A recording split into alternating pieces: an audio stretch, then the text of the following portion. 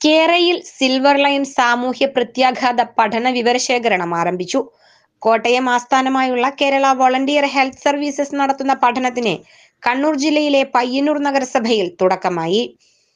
പദ്ധതി വരുമ്പോൾ ഭൂമി നഷ്ടപ്പെടുന്ന കുടുംബങ്ങളെ നേരിൽ കാണുകയും വിവരങ്ങൾ ചോദിച്ചറിയുകയും അവരുന്നയിക്കുന്ന പ്രശ്നങ്ങൾ കേൾക്കുകയുമാണ് ആദ്യഘട്ടത്തിലെ പ്രവർത്തനം.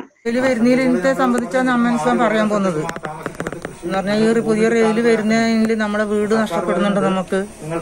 നമ്മൾ കാലാകാലങ്ങളായിട്ട് ജീവിച്ചു വരുന്ന ഈ വീടും സ്ഥലവും പരിസരവും എല്ലാം വിട്ടു പോകുന്നതിൽ നമുക്ക് അതിയായ സങ്കടമുണ്ട്. ഇത് കേരളയിൽ നമ്മൾ എതിരല്ല. കേരളയിൽ വരുന്നതിൽ നമ്മൾ സപ്പോർട്ട് തന്നെയാണ്.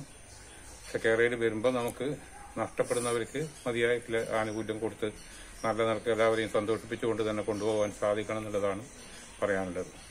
പയ്യന്നൂർ നഗരസഭയിലെ ഇരുപത്തിരണ്ടാം വാർഡിലാണ് വിവരശേഖരണം ആരംഭിച്ചത്.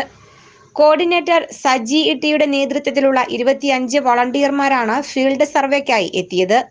നമ്മളുടെ ഈ സാമൂഹ്യ പ്രത്യേകത പഠനം എന്ന് പറയുന്നത് നമ്മുടെ ഈ കേരളയിലുമായിട്ട് ബന്ധപ്പെട്ട് കണ്ണൂർ ജില്ലയിലെ ഉത്തരവാദിത്വം നമ്മൾ കേരള വോളണ്ടറി ഹെൽത്ത് സർവീസിനെയാണ് ഏൽപ്പിച്ചിരിക്കുന്നത്.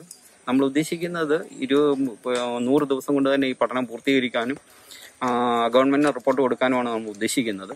ഇപ്പം കണ്ണൂരിനെ സംബന്ധിച്ചിടത്തോളം ഇരുപത്തിമൂന്ന് വില്ലേജുകളുണ്ട്.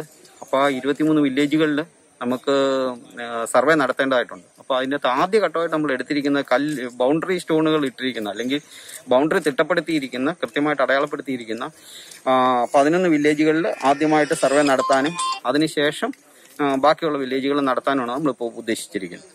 കണ്ണൂർ ജില്ലയിൽ മാത്രം കേരയിൽ കടന്നുപോകുന്ന അറുപത്തിയൊന്ന് ദശാംശം ഏഴ് കിലോമീറ്റർ ദൂരത്ത് ഇരുപത്തിമൂന്ന് വില്ലേജുകളിലായി നൂറ്റിയെട്ട് ഹെക്ടർ ഭൂമി ഏറ്റെടുക്കേണ്ടതുണ്ട്.